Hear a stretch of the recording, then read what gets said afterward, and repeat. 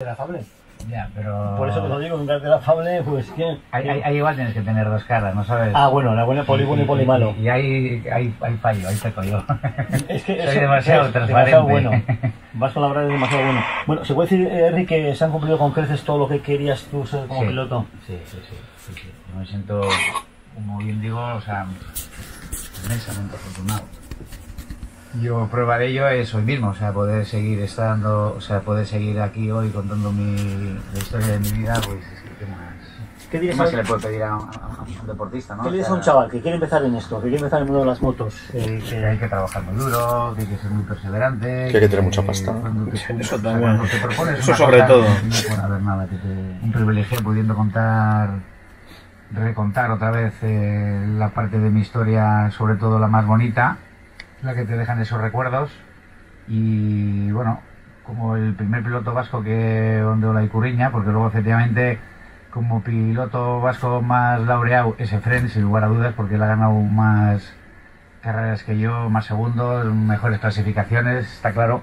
Quizás se me recuerde más a mí porque he sido más el primero, pero como talentoso y todo, la- él efectivamente me ha ganado y, y- y él seguro que estará orgulloso que haya otro que venga y si puede ser Zurduza ahora mismo mejor que nos pase por encima a nivel de triunfos, de campeonatos y de hace todo. falta un campeón del mundo, Ojalá. ¿no? Es lo que hace falta. Ojalá, cuanto más pronto mejor. Ya para ir terminando, eh, nos has contado con qué moto te quedarías de las que has tenido, con qué piloto, ¿Quién, es- ¿qué es el piloto que más te ha marcado a ti? ¿Es el Kenny Roberts, como me han dicho? ¿El que más te ha marcado? Bueno, cuando empecé efectivamente es el que más estaba y con el que más compartí su envidia era con Wayne Rainey. Buen Rainey, bueno era. En la época de Rainey, Lawson, Gardner, todos esos, ¿verdad? Marcaron un, un antes y un después del motociclismo. Sí, porque el hecho de ir rápido en 500 era... Mm. Así que claro, luego ya cuando vino Krivi, que encima es amigo y capaz de Sí. ganarles a todos A allí... Lujan, ¿verdad? Ganar a Lujan cuando ¿Eh? ganaba todo, ¿eh? Sí, Era sí, complicado, sí. ¿verdad? Además, hoy Henry ha tenido la entrevista en moto, ¿verdad? Sí, en moto. Sí, en moto de cuatro ruedas. moto, ¿Llevamos en moto o qué? No puedo, Pero no puedo. me tengo miedo a mí mismo. Pero con tranquilidad, ¿qué pasa? ¿Que vas a ir? No con- puedo. ¿No? Hasta con la Scoopy que tengo no, no, no soy capaz. ¿Eres incapaz de ir despacio? Sí. Que tiene cierta Yo edad. decía que eh, ahí yo pensaba que había un momento que reflexionaría y que No. no. No, no, y me gustaría, ¿eh? pero no. y Estuve haciendo en el circuito de los arcos de monitor un par de temporadas, pero qué va, me vengo arriba muy rápido. Y para disfrutar en la moto tengo que ir rápido. ¿Entonces te has comprado una de 50 pequeñita? pues es la Scoopy que me regaló en su día onda cuando gané la primera carrera de campeonato de España. Pues ya es vieja, ¿eh? Sí, Madre mía. 33. Joder, Y anda, ¿eh? Anda mucho. Eh. Está turgada entonces. Un poquito. Víctor Ronti, que un placer haber estado contigo, ¿eh? El mío. Que sigas igual de feliz, de contento y de afable y de cercano, que es lo importante, ¿eh? Y sigue viviendo el mundo de las motos, que es muy importante. Todos Anda Vasca. El casco, Agur. Espacio ofrecido por la Diputación. El deporte mío ha sido intentar llegar, ¿no sabes?, al límite sin caerte. Ya, ya. Y buscarle, ¿eh? entonces cuando disfrutas es cuando... Claro, cuando empiezas así ya acabas cayéndote, no se puede decir, hasta, hasta aquí hemos llegado. Esta es la mía, A una Monster. la 796. El- el- Lo conseguí por él, el mono. El este, yo tengo que buscarte hasta aquí, a dónde cojones está la pelea de los huevos. Esta sí, pequeña pelea. Va a correr con esta, con la BMW 1000 RR. La trae mi hija, ¿eh? También es piloto. Ya, ya. Piloto de cojones. Henry, que tenemos que grabar ahora un tal Colo. Bourgois, un viajero. Un, eh, un aventurero de que va en moto por todo el mundo, haciendo Sí, mil ha cosas. hecho África y ha hecho Un tipo Sudamérica. Miguel Silvestre. Miquel Silvestre, pero de Bilbao. Mira, eso por ejemplo, el- de vez en cuando ir buscando documentales, de solo ver. Ah, Silvestre. Sí, sí. Es un, es profesional de esto. Ese Y fue- lo último que he visto ha estado en... Joder, Siberia, tomar por culo ahí. Sí, sí, se- ha hecho sí, Mongolia. y- Mongolia. Sí. Esa es una figura, una, unos, Joder. unos Sí. monumentos. Pero ese ya es un profesional. De hecho, vive de ello. ¿eh? El tío sacó, sacó, la, sacó la oposición del registrador. El Eso a número, decir, el número era, uno de era fun- España. era funcionario, tenía un sueldo de Y puta dejó madre, todo por la- y por- dejó por la todo, ¿eh? se quitó para irse con la moto. Yo decía antes por la antena, eh, por televisión española que tenía un programa habitual en la 2 y luego fui a una conferencia que dio aquí en el Hotel Indauchu una vez. Sí, y estuve- el libro también. Pues estuve allí, eh, es un crack hablando también, es un tío alucinante. Pues un día, Erdi, si no te importa, como tenemos un programa de Vamos a motor... hacer otra. ¿Otra? Allí. Vale. Vamos, Henry. La última. Vais a Como hacer foto. Henry, como teníamos formado de motor con Alberto, un día igual teníamos para hacer un tema de motor, pero del mundial de Alfa. ¿El otro ángel? También, los dos ángeles, los dos ángeles, el otro ángel. Los ángeles del infierno. Yo tengo igual, ¿quién esa? Tú. ¿Qué pasa, Coldo? Ahora, mira, nos está esperando Coldo hace media hora, me cago en 10. Perdona, Coldo. A ver si nos A ver. escuchas. ¿Nos Este- escuchas, Coldo? Este me da mono. A ver. Yo no lo escucho a Coldo. ¿Por Yo- qué? Habla ahora un poco, Coldo. Ahora sí. Ahora sí, ahora sí.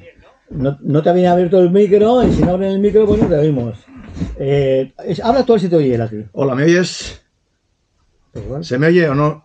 ¿Me Ve más- oyes? Ve más para aquí. Ve más para aquí. Alberto, que me yo más para allí para que esté más centrado. Ahí, Eso es. ahí, estamos juntitos. Perfecto. Si me ha dicho Pérez que se podía coger este micrófono. A ver, a ver, a ver. no Ahora sé. sí, suena bien. El tu- A ver, a ver, ahora. A ver, a ver, ¿tú me oyes, Coldo, ahora? ¿No me oyes? No, Coldo no me oye. a Coldo mí. no le oyo, ¿por qué? A mí sí me escuchas, Coldo, a mí, a mí sí. A ti sí, a ti perfectamente. ¿Y por qué a Alberto no? A ver, a ver, estoy hablando. ¿Se, se me oye? ¿Se me oye? No, No, me, Coldo no me oye, Coldo no me oye. ¿Y entonces? Le he dicho que éramos dos. Y, ha dicho que lo- y si- entonces, ¿qué se hace? ¿Qué se puede hacer? Espera un segundo, Coldo, ya lo siento. Piensa rápido. A ver qué podemos hacer.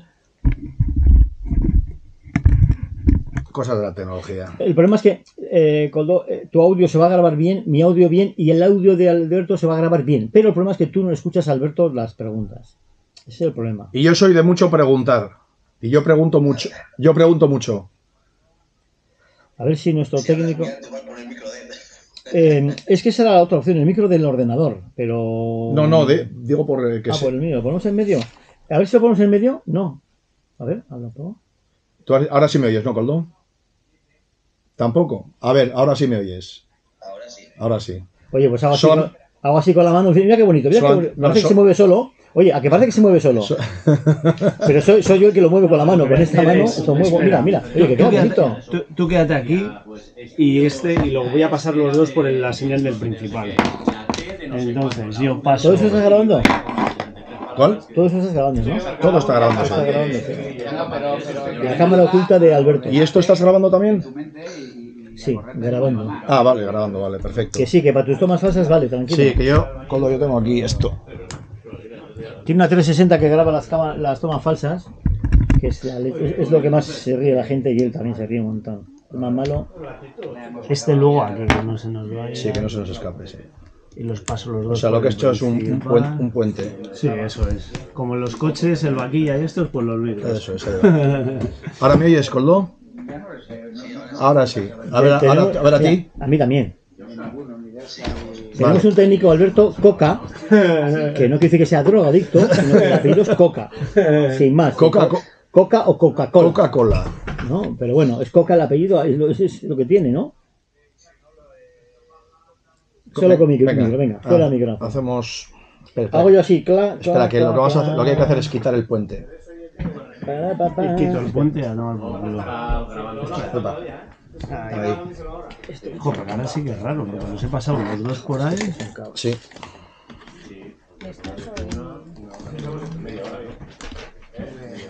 Sí. ¿Cuál? Ah, vale, vale, gracias. Vale, pues entráis con el. No, no, de- no. Oh, oh, oh, vale. Entráis con el de plaza los dos, ¿vale? Vale. ¿Teresa no me la roto Con el tuyo. ¿El qué? Digo a Teresa, que si me ha roto el cargador. Te la he devuelto, ¿no? Sí, sí, me la ha devuelto por eso. Venga, vale, ponemos aquí en medio. Mete separata y también, por favor, eh, me dices, me vas diciendo lo que nos queda, ¿eh? Yo ahora no oigo nada, ¿eh? No, yo tampoco, porque no, no, no oigo todo. No, no, no Vale, vale. nada. Venga. Hola. Danny Pedraza wins the 250cc. Ganar es una droga que engancha y que te permite no perder. It's like the dream of my life to race in the World Championship. En A Todo Motor, Buah, el- yo creo que la, la clave es no, no pensar en el límite. ¿Dónde está el límite? Yo creo que no existe el límite, lo pone uno, uno mismo. hablamos de motos.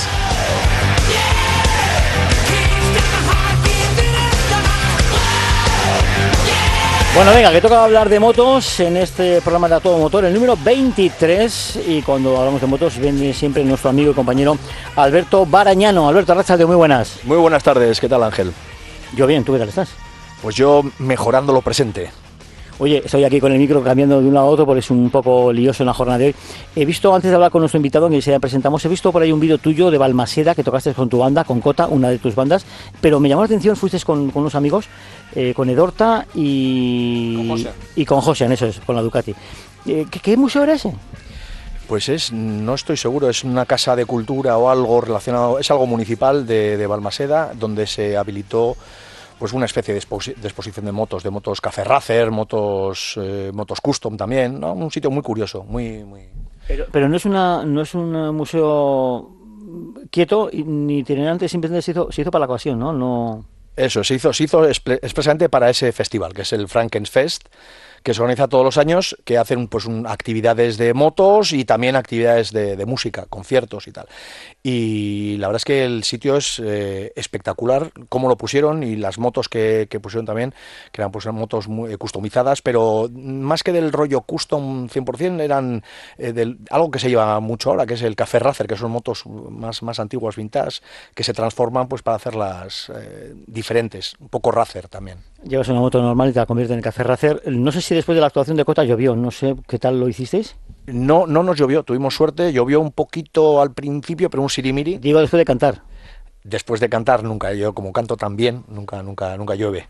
¿eh? Por ahí, por ahí van los tiros. Venga, preséntanos a nuestro invitado en la jornada de hoy porque hablamos de motos y hablamos de, de un hombre, un motero aventurero. Sí, así es. Eh, contamos esta semana o este mes con, un aventurero de Bilbao. es el Miquel Silvestre del Bocho, ¿eh? porque yo le conocí hace... Yo creo que le, conocí, fíjate, el día el día que se iba a África, porque tenemos un amigo en común que es Iñaki Meléndez, eh, que envió un mensaje a todo el mundo, oye, que se va un amigo que va a hacer un viaje, ¿qué tal? Y, quedamos todos en la, creo que fue en la gasolinera de Miribilla, si no me acuerdo, si mal no, recuerdo, y, se hizo la, salida, pues bueno, se, hizo África, yo sé que después ha estado también por Sudamérica, pero bueno, sobre eso yo creo que le, le podemos preguntarlo un poquito más adelante, se llama Coldo Burgoa. Así es, Coldo, ¿qué tal estás? Ahora muy buenas. Racha León, pues muy bien, la verdad. Cansadillo del trabajo, porque a todos nos toca trabajar, pero bueno, más cansado fue viajar por África. ¿Quieres, eres más motero o aventurero? Yo soy más viajero en general, o sea, motero porque me encanta, ya me apasiona la moto y todo, o sea, al año me hacía millones de kilómetros, todos los que podía. Pero viajero también, o sea, sin moto he viajado muchísimo. Este viaje de tres años lo, lo hice en moto íntegramente y la verdad es que me la gocé, o sea, me la gocé como locos. Alberto dice este, viaje, este viaje de tres años, como cuando vas tú a Galicia, que vas tres semanas, este dice, no, un viaje de tres años. Tres años, Coldo, pero ¿dónde vas tú? Bueno, pues me hubiese gustado viajar más largo, pero es que no llegaba el dinero. Joder, tres años, madre mía. Oye, perdona, antes de que te pregunte, Alberto, ¿eh, ¿con qué moto vas? ¿Vas siempre con la misma? ¿Cambias? Eh, cuando estuve viajando, eh, en ese viaje estuve siempre con la misma, con una Honda Transat 650. Eh, Alberto, no te oigo. sí, no me preguntes. no, yo ahora, te pregunto, vamos a ver. Yo, no te oigo. ¿No me oyes? No me oyes. ¿Cómo que no le oyes? ¿Y a mí me oyes? A ti te oigo. Cuando giras el micrófono no oigo. Toma. A ver, ahora sí me oyes igual, ¿no? Ah, sí, sí. Ah, sí, sí, vale. Entonces es un tema, es un tema de, los rayos cosmogónicos. De cables. Tenemos en el estudio rayos cosmogónicos. Vamos a ver, hiciste el viaje a África con la onda Transalp, ¿verdad? Bien. Sí. Y saliste, vamos a ver, yo tengo entendido que antes de, de embarcarte en esa aventura del viaje, sí que habías hecho algún viaje similar, pero a pata, con el tema del couchsurfing, ¿es así? Bueno, no, eh, había estado viajando en couchsurfing y haciendo autostop o en transportes públicos y demás por muchos sitios.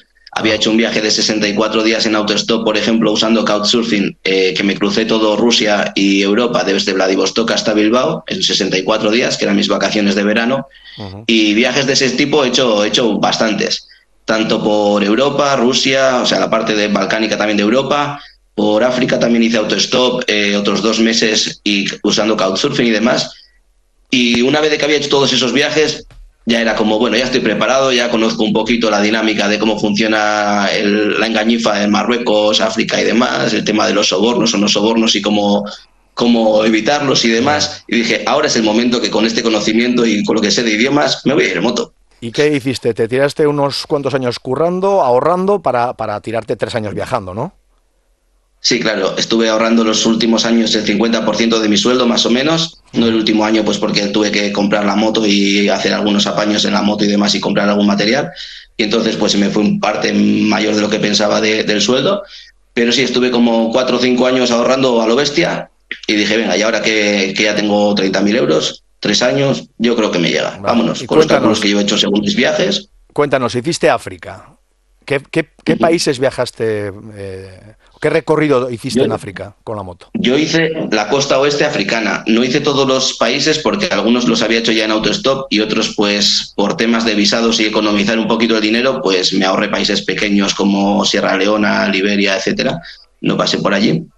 Y, y entonces, pues fui por Senegal, Mali, de ahí pasé a Burkina Faso, Togo y luego seguí a la costa por Nigeria hacia abajo, por Camerún, Gabón, Congo, eh, luego eh, Angola, Namibia y Sudáfrica.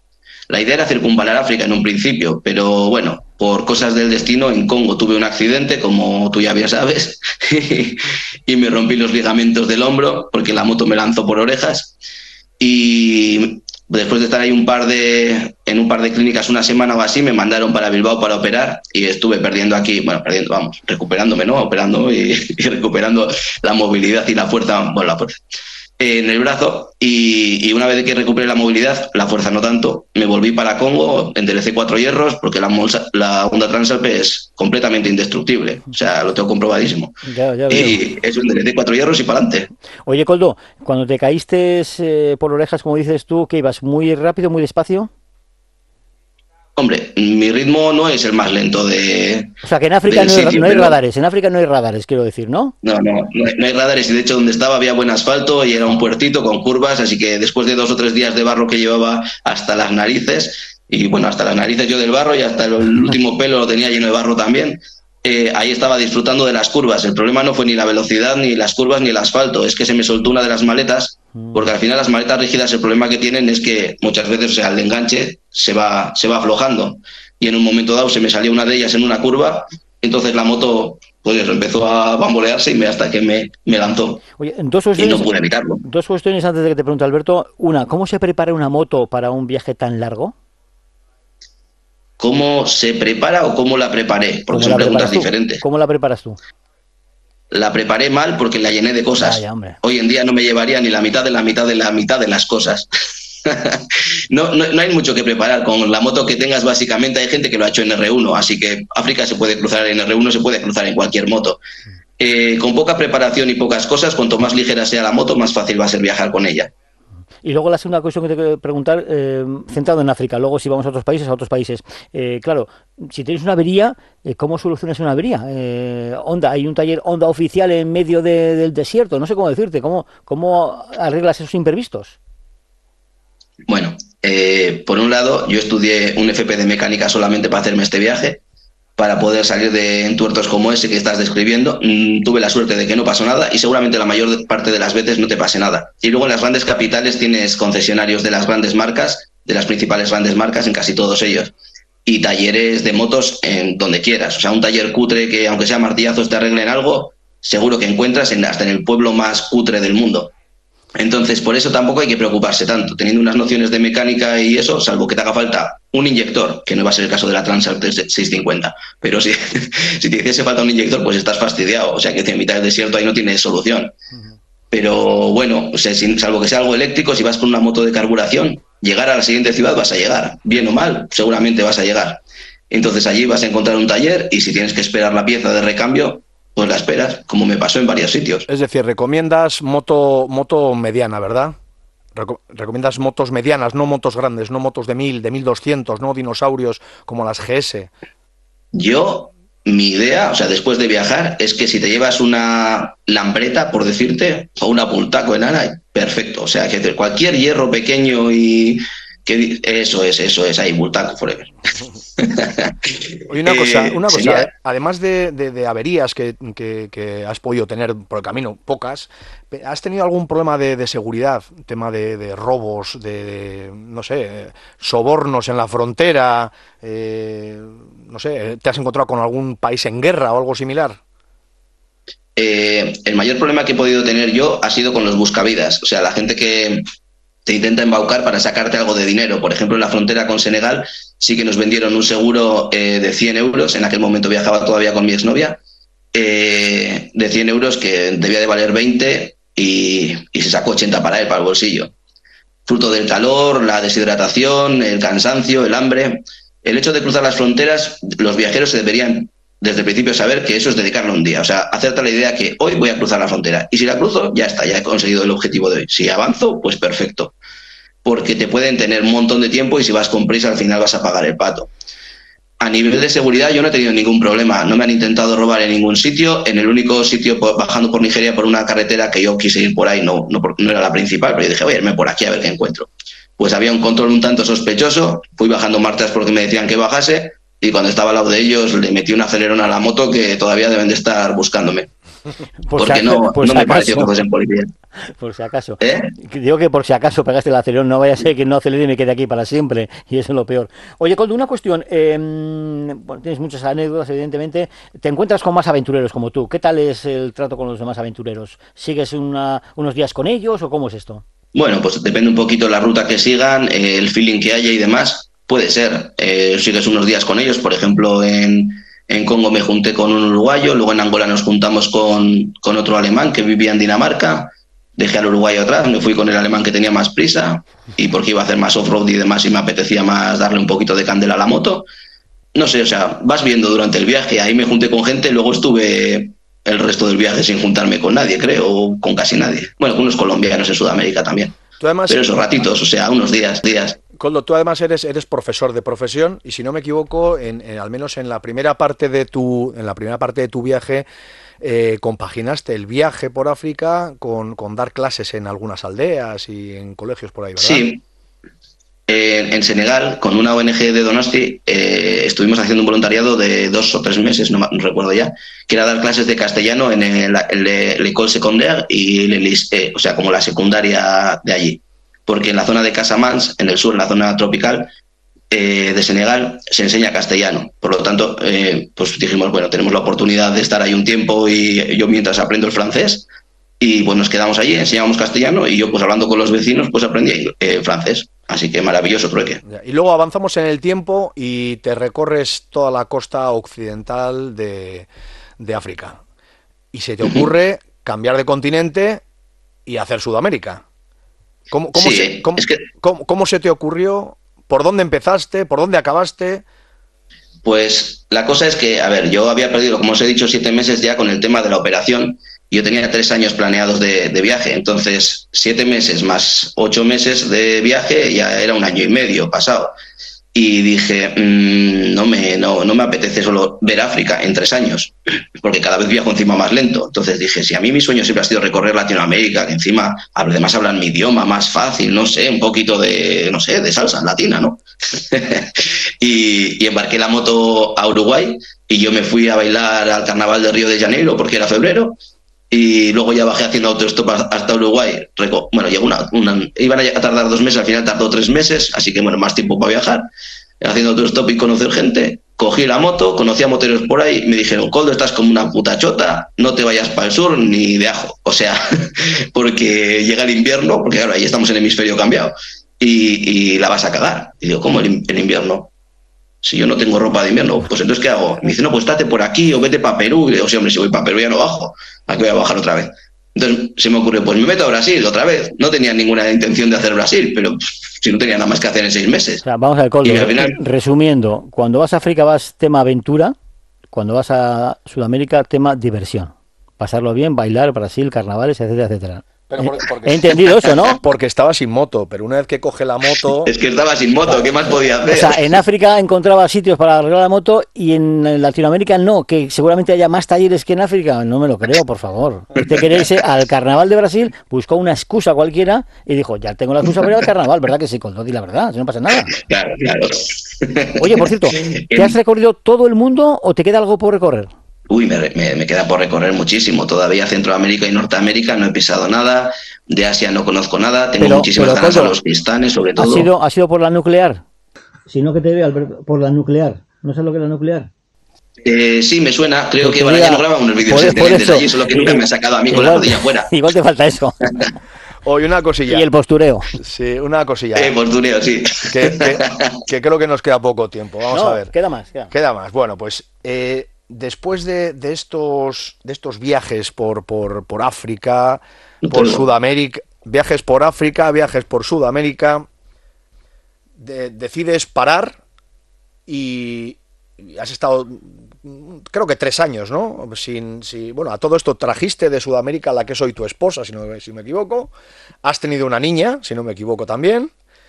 Y has decidido, eh, bueno, ser algo, un, un viajero sedentario, pero, pero tiene- sé que tienes en proyecto una, un- bueno, algo- una, una herramienta para ayudar a los moteros, ¿verdad? Una, una aplicación. un- eh, cuéntanos un poquito qué, Sí. qué tienes en mente. Sí, cuando estaba viajando por Sudamérica, eh, antes de hecho lo iba a decir, pero justo me habéis cortado, eh, sí encontraba talleres. De hecho, en muchos me, la- me arreglaron la moto gratis solo por ser viajero. Y decían que mi dinero tenía que dedicarse al viaje y que ellos me podían hacer ese favor y que fuese para adelante, que, que ellos eran moteros y que me arreglaban la moto y para adelante. Y luego también en Sudamérica hay redes de apoyo moteros, que son moteros que alojan a otros moteros, pues así, by the face, como Couchsurfing, pero solo para moteros. Y entonces, en, en- ese periplo del viaje, más toda la experiencia que traía yo con temas de aplicaciones que usaba en África, como la Overlander y demás, porque no hay información sino que puedas encontrar fácilmente, y otras aplicaciones, eh, estuve pensando, pues si esto, todo esto, todo esto se podría recoger en una sola aplicación que ayude a moteros, tanto que salen, salimos fin de semana por aquí, porque claro, si sales a la nuclear, ya te sabes todos los bares, todas las curvas, ahí no tiene tanta gracia ni tanto interés tener una aplicación. Pero igual si te sales de la nuclear un día, así cuando se te ocurra, ¿eh? Vale, ya no. Solo uno, ¿eh? solo uno, solo uno, no le cambies el ritmo. Territorio Comanche, la nuclear. Pues eso, si, si al final te decides a salir y a ir a la región de al lado, igual no sabes dónde comer, no sabes eh, con quién encontrarte o tal, o quieres hacer una quedada para hacer unas curvas por ahí y un poco de postureo y no vas a encontrar a nadie fácilmente. Pero si hay una aplicación que puede conectar a gente que le guste ese mismo tipo de cosas, pues mira, voilà. O si quieres buscar un restaurante que te recomienden otros moteros, igual no conoces a nadie de esa región, pero si ya lo ha puesto alguien de allí en una sola aplicación, porque por Facebook preguntamos muchas veces y no responden, pero la información al final se pierde. O te recomienda a ti un amigo, pero tu otro amigo no lo sabe. Entonces, es una forma de recoger todo en una sola aplicación que solidariamente lo hacemos naturalmente todos los moteros, lo de meter la información de nuestro alrededor todos los días en, es lo que te digo, en Facebook o en diferentes aplicaciones, y sería recoger toda esa información y a todos esos moteros que están dispuestos a conocer otros moteros o a ayudar incluso alojando a su casa en- a otros moteros o en lo que fuere, pues en una sola aplicación, hacer una comunidad gigantesca de moteros solidarios por todo el mundo, que nos ayudemos los unos a los otros y estemos actualizando esa información continuamente. ¿Y ya funciona esa aplicación o, o es, una, es un proyecto? ¿Cuándo va a estar ese proyecto ya un poquito más asentado? A ver, estamos eh, ahora mismo estamos ya desarrollando la aplicación. Tenemos también eh, la parte hecha eh, como aplicación web y luego estamos desarrollando la aplicación nativa, porque la idea es que sea nativa para iOS y Android. Eh, la cosa es que, claro, solo somos dos personas, no tenemos así dinero como para contratar a gente, entonces hasta ahora ha ido muy lento. Ahora estábamos empezando a pensar a- en postular a fondos concursables porque creamos una empresa y está radicada en Chile. Entonces, estábamos pensando en, en postular a los fondos concursables ahí en Chile, que hay, o a empresas como Microsoft y demás que también hacen este tipo de, proye- de proyectos o de concursos, que si los ganas te dan un dinero para que desarrolles tu aplicación y de esa manera poder contratar un staff que pueda desarrollar la aplicación, porque el único que es programador de los dos es Alfredo, que es el chileno. Yo he tenido toda la idea, he hecho todos los diseños básicos, porque no soy diseñador, soy profesor de primaria, ¿eh? pero, pero Que la también es verdad importante. es que Es claro, yo puedo enseñar, pero ya tanto como también diseñar y programar y demás, Bueno, es que no me da la vida. y ya estudié pensar, mecánica y para pensar, viajar. pensar y darle un poco a la cabeza de las necesidades.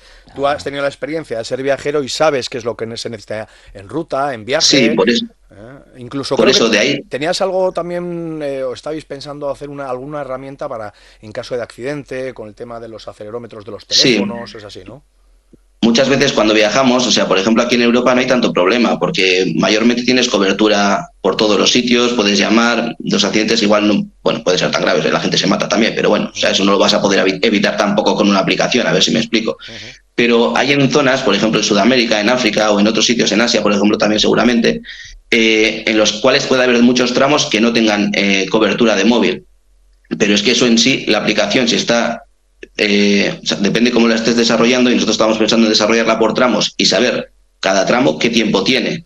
Entonces, si tú en un tramo que sabes que es peligroso, que todo el mundo ha puesto que es peligroso, no ha salido en una hora, no ha salido en dos y tienes que haber salido en diez minutos, pues hombre, te ha pasado algo, o sea, es lo más probable. Entonces ya puedes lanzar directamente, aunque no tenga, o sea, aunque tú no tengas señal, la aplicación, digamos, o sea, el API ya sabe que tú dónde estás. Entonces puede lanzar una señal eh, de manera pasiva. Entonces, eso era una cosa que contemplábamos, también contemplábamos poner un botón SOS, por ejemplo, en, en Sudamérica me explicaban que tú vas con la moto y se te pone al lado otro con la moto y, y que te quieren robar y tal, pues poder apretar un botón SOS que haga una llamada de emergencia, por ejemplo, a la policía de ese país. O sea, y demás.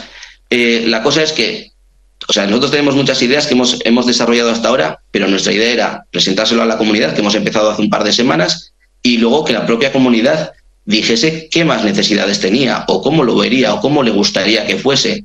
Y entonces, en base a eso, seguir desarrollando lo que la gente le resulte útil. O sea, no es lo que yo quiera, sino yo ego no tengo ninguno, ya sabes, postureo cero.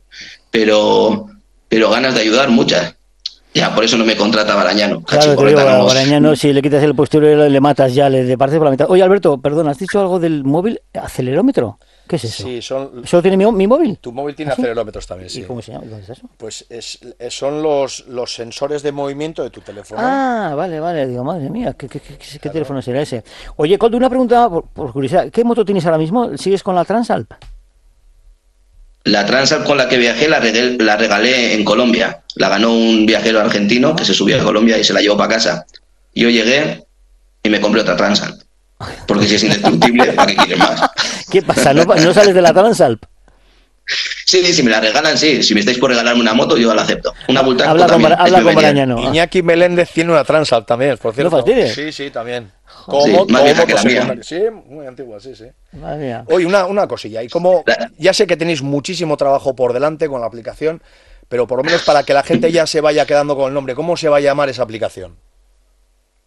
La aplicación se, se llama Ibrum. Ibrum. Estamos registrando la marca allí en Chile. International Biker Ibrum. Mira qué bien. ¿Y tu próximo proyecto? Si es que tienes ya algún proyecto, no sé si tienes en mente viajar a algún sitio. ¿Qué te queda por viajar? En mente tengo, en mente tengo viajar, por supuesto, pero como os decía y como ha dicho, ha dicho muy bien Barañano, ahora con una mujer y una hija de dos años y medio, viajar en moto los tres es complicado. Así que he optado por cambiar un poco de vehículo. Compré hace unos meses una furgoneta y estamos probando un poco a ver qué tal se nos da El lo de la furgoneta, porque ya te digo que en moto va a ser imposible durante bastantes años. Luego ya cuando pueda, ¿Te vas a, la a vas a pasar, pero Coldo, ¿vas a pasar de motero a perro flauta? ¿Cómo es esto?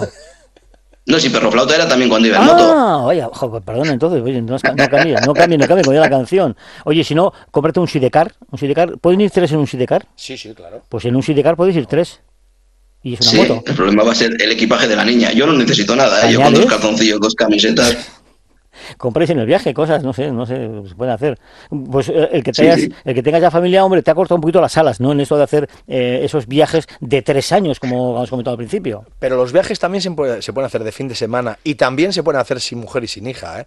Porque te voy a decir una cosa, te cuestan la mitad y disfrutas el doble. Bueno, Oye, si no te doy, te mira, te doy otra opción, como hace Barañano con su mujer, no sé si lo puedo decir ahora, ¿nos escucha tu mujer? No, ¿verdad? No, no, escucha escucha. nada. Negocias, es decir, yo te doy una cosa que tú quieres para que tú me dejes hacer a mí una cosa que yo quiero. Eso Hablo de motos, ¿eh? ahí está. Me voy contigo de vacaciones o con la familia a tal sitio tanto tiempo pero luego me tienes que dejar a mí y salir estos fines de semana con mi gente, postureo, etcétera, etcétera, ¿no? Claro, eso es. Se llama, se llama negociación. Negociación. Y Alberto, que es abogado, sabe negociar muy bien. Business plan también se llama. Tienes que hacer un business plan. Bueno, entonces le, le puedo ofrecer dos meses de, de viaje con ella, full con ella, y luego que me deje tres años para viajar solo. Eh, eh, cuidado, cuidado, cuidado. Esa no es una negociación a 50-50, por favor, No ¿qué te has pasado? Hombre, por- eh, eres profesor de los listos. No, no, no, no, no, no, no, no. Eso no me vale, ¿eh? Como un- viaje de tres años. Pero vaya negociación que que tienes que hacer para estar tres años de viaje. Eso no te lo van a dejar. Si cuando vuelvas a los tres años, tu hija ha hecho la comunión y ha hecho la carrera casi. Bueno, pues que la haya pagado otro, porque si no me va a joder el presupuesto de viaje. Pero tienes que hacer más viajes. Hay que conocer también más la península. No te digo. Tienes que viajar más por la península. Eh, viajes cortos de, viajes cortos de fin de semana. Claro. Que yo sé que es lo que querías hacer después de aterrizar de Sudamérica. Sé que tuviste proyecto hacer viajes locales. Y, y creo que me estás, eh, te has cambiado al camper y ya ahí me estás perdiendo un poquito la, la línea. La esencia. No sé, pero yo por, por la península he viajado un montón, ¿eh? No solo por España, por Portugal y Andorra también. De hecho, mis primeros viajes con, con mis primeras motos, que fueron una iOS, una Aquila 250 y luego una Vulcan 900, con eso me recorrí la península infinidad de veces. Bueno, o sea que conocer algo ya conozco. te tienes que llevar el próximo viaje a Alberto Barañano. Que también tiene una, Vale. una, tiene una moto, no es una Transal, pero bueno, la, la Ducati. La puede- multistrada, la sí. multistrada, Bueno, me, ¿no? me dejó tirar en Soria, o sea que Ah, es verdad. no me puedo fiar de ella. El problema, el problema es que si a, mi- a la velocidad que voy a ir yo se le va a recalentar la moto todo el rato, no Ay, sé yo. Esa es otra, esa es otra, no pasa nada. Oye, pues habrá que buscar algún. Yo también sé ir despacio. Sé ir despacio y sé ir tranquilo. He ido contigo. Saber de... Ángel, he ido no, no, no, contigo. no, no, esa mentira no es verdad. Tú has ido con 155 a la vez. Y entre esos 155 estaba yo, pero no has ido conmigo. Bueno, bueno. No, bueno, bueno, no. pues es que ahora, ahora que repetir. Esa que mentira repetir. no es verdad. Este me dice, Mano a mano, mano ven- a mano. Ven un día conmigo cuando veo las fotos, las imágenes, los vídeos de postura que va tocando el codo, no sé qué, digo, ¿dónde vas tú? Yo si me tumbo, me quedo ahí tumbado ya. Y, y ya no me levanto, me quedo tumbado. Ese es mi problema, que yo me tumbo con la moto y ya me quedo así un ratito, luego me ayuda a levantar la moto, viene la grúa, me la levanta y ya está, no pasa nada, es lo que hay. Sesiones, sesiones de postureo, clases de Postureo. postureo. es lo Yo, yo en parado en los demás. Coldo, que es un placer hablar contigo de verdad y que, bueno, pues que salga muy bien esa aplicación, que seguramente va a ayudar a muchísima gente, estoy seguro que va a ayudar muchísima gente, que será muy interesante para vosotros y para la gente que, que pueda utilizarla y a ver si puedes negociar un, un próximo viaje. Lo, lo intentaré, intentaré negociar. Y la verdad es que ha sido un placer estar en la entrevista, me lo he pasado muy, muy bien. Así que cuando queráis, repetimos. Yo espero verte como mínimo el día 31 de diciembre en la salida que hacemos todos los años, que viene todos los años él también. ¿eh? ¿Ah, sí? Sí, Yo sí. no falto. Yo también Sí, voy. ya sabes, ya sabes que yo no falto. Yo también Lo voy. sé, lo sé, lo sé. Yo llego más tarde que Yo los estuve- demás, pero, llego- pero voy. Ángel estuvo también en la del año Sí, pasado, sí, sí. Sí. Pero la, la diferencia es que yo estoy en las que van 10 moteros porque llueve y otros solo llegáis a las de 155. Toma Zasca que nos acaba de... Bueno, me acaba de dar a mí. Coldo, un placer. Y nada, sigue igual de simpático, Igualmente. hazlo todo bien y ya hablaremos más veces, ¿vale? Un abrazo muy fuerte. Vale. Coldo. Gracias. Hasta luego. Y ponemos ya el punto final a lo que ha sido esta edición de A Todo Motor, donde hemos hablado de coches con Joseba Iraola, que ha sido un campeón de, es un campeón de Europa de, de montaña, y con Coldo Burgoa, que es un aventurero que va a hacer una aplicación fenomenal y que le vaya todo muy bien. Y tú sigue con lo tuyo. Pues el sí, postureo. Eso es, el postureo. Y bueno, otro mes, el mes que viene, a ver si traemos alguna sorpresa al programa también. ¿Ya lo has preparado? Estamos en ello, estamos, ¿Estamos en estamos ello? cocinando. ¿Cómo se dice? ¿Estamos en ello? ¿Estamos trabajando en ello? Nada, el saludo para todo el mundo. Vuelvan a conectar con Onda Vasca, sigan en Onda Vasca. Y creo que el último fin de semana de este mes, que también nos toca motor. Es el último fin de semana de este mes de octubre, que también nos toca motor. Nada, aquí lo dejamos. Agur. Mete una sintonía, quería que hubiera una sintonía de fondo para mezclarlo. Oye, ¿cómo se para esto?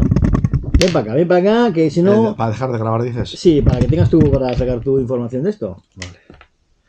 No hemos dicho nada de la bota. Bota Ducati totalmente. No, no, es, es una bota Siri. Ducati. Pero además tú sabes lo Ducati, ¿ves? Pero no, bueno, esta es la que. Rojo, esta es la de Álvaro rojo. Bautista, por ejemplo. Así, ¿eh? Mira, fíjate lo bueno esta. Vas a flipar con esto, mira, ¿eh? Sí, que es un tensor. No, no, Y mira. luego- ah, a ver. No tiene. Sección motos. No tiene ni ni nada. Para verano muy bien, pero para invierno. Ah, perfecto. Bueno, con un buen y esta es perforada, ¿eh? Hostias, qué buena. Entonces, claro, así, a ver, mira, como- las de- como eso las de- es como las de esquiar. Sí, sí, exactamente. Sí, sí. No, más que como las de esquiar, como las de Como las de ciclismo. snow y como las de snow. Tu deporte favorito, el ciclismo. Eso También es, tienes sí, esas así. Por eso las has comprado, porque te gusta el ciclismo y no sabes cómo De hecho. City es una marca que tiene. Le- le- a Barañero le encanta el ciclismo y de hecho esta atadura es de ciclismo. No sé que no le gusta. Les tengo una manía a los ciclistas que no me aguanto ni Por yo favor, mismo. Que no no me aguanto ni yo mismo. No, ya está. A ver, convertir la grabación. Está en ello, estamos en ello. Pues 1%. Que lo- bueno, eso va a tardar porque eso es media hora, ¿eh? Pero bueno, pero es que si no, no puedes sacar cosas, solo puedes sacar de aquí. Vale. Bueno, tú- ya está. Cuando tú lo tenga- tranquilo, cuando, cuando esté, tenga, me lo envías. yo te lo envío. eh, esto como se- hay que enviarlo por. Hoy no va a ser, ¿eh? Será mañana. Tranquilo, no hay- Porque no hay prisa. ahora estamos. Para mañana. tiene que pirar Alberto para casa además también. Bueno, déjalo que. Vamos a dejarlo. Déjalo, no toques es nada. que veo que esto es sí, sí, a. ¿Qué hora es?